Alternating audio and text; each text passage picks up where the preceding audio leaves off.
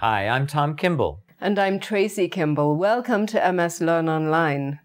Most gait problems can be helped to some extent by physical therapy, the use of appropriate assistive devices, and in some cases, medications. In the second of our two part series on gait issues, Dr. Francois Bethoux talks about what can be done to address these problems. You are a physiatrist. What is a physiatrist? So actually, I've been told the correct pronunciation is physiatrist. Physiatrist. Yes, which okay. uh, it's basically uh, you know I'm a physical medicine and rehabilitation physician, so okay. I you know took special training in uh, what we call PM&R, and really the role of the physiatrist usually is to uh, basically evaluate patients and design the treatment plan for rehabilitation and sometimes also often actually symptom management like spasticity. So, you know, there's a lot of therapists available, physical therapists, occupational therapists, speech therapists, and many times, say a neurologist or a family physician could refer directly to these professionals, and that's very appropriate.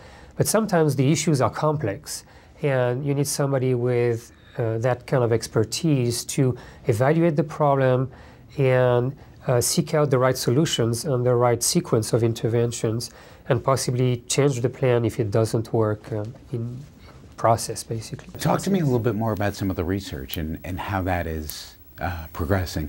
Well, there's a lot of research into the rehabilitation aspect. What are the, you know, uh, the most useful kinds of exercises that people can do? Uh, there's also research into the devices, uh, you know, the braces that can be used, these electrical stimulation devices that I've been talking about, and more recently even robotic devices that can be used to train people to walk better. The nice thing about robots is that uh, they can do repetitive things many, many times and adjust to people's uh, particularities, I would say, or particular needs. Uh, but there clearly needs to be more research to uh, clarify who's more likely to benefit, how they should be used, and what really are the benefits so that we can inform our patients.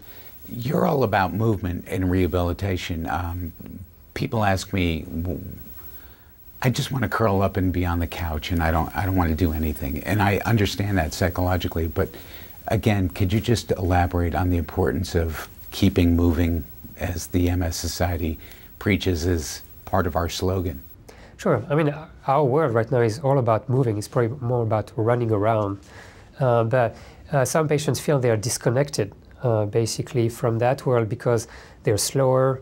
Uh, one patient told me recently that, you know, when she was going out uh, golfing, actually. She uh, didn't feel comfortable having a cane to help her walk, but then she felt that she was slowing down the whole group. So she tried to walk faster, but then her legs got stiffer and then she stumbled. So it, it shows why some people may just prefer to stay inside and say, well, you know, I just can't keep up. Uh, but then comes the problem of deconditioning that I mentioned before.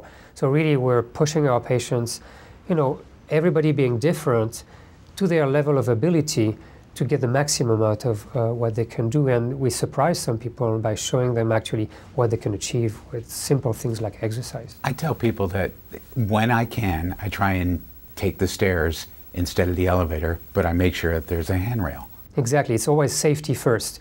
You don't want to be in a situation where you're going to hurt yourself uh, because that could be a, a serious setback. So it's the safety issue and then getting the most performance, again, within reason. I think also some people set uh, unrealistic expectations because, you know, they say, well, I would like to walk the way I walked before. Sometimes it's possible, sometimes it's not, but that doesn't mean that the, it can't be better. So I think it's about bringing everybody up to the best that their body can do. It's very important. So, doctor, I'm a patient. I have gait issues and we're going through the normal course of pharmacology and uh, rehab. There are assistive devices that we can now use. Uh, tell me about specifically what some of those are and how they work. First, it's important to consider the image of assistive devices. Many people think that using an assistive device is a negative thing to do because it it's kind of giving in to the disease or showing that things have gotten worse. And I can appreciate the psychology impact that it can have, but I try to re reverse the thought here actually to say it actually will enhance your function so you'll be able to do better. So actually you will be fighting the disease more by using an assistive device. And you know there are simple devices such as a cane, could be also a walking stick, you know that is more sporty maybe you know mm-hmm. and, but can be as effective as a cane some people use crutches uh, and sometimes you know to give better stability you need to use a walker or rollator um, and then for some people you know having a power device such as a scooter can be wonderful when they want to go out to a sports event or go uh, to a mall and then there are these you know braces that are also uh, considered assistive devices such as what we call the AFO or the ankle foot orthosis that maintains the foot in the right position uh, for foot clearance, for example. And then, you know, these um, FES devices to correct foot drop are also considered assistive devices and can enhance function. So there's a wide variety, and it's all about finding the right one uh, for a particular person uh, that in order to enhance their function. Thank you, Dr. Bethoux, for telling us about the options that are available to help with gait issues. And remember that you need to consult with a qualified healthcare professional to get the therapy that's right for you. And of course, you can find even more information on the National MS Society website. Thanks for joining us, and we'll see you next time.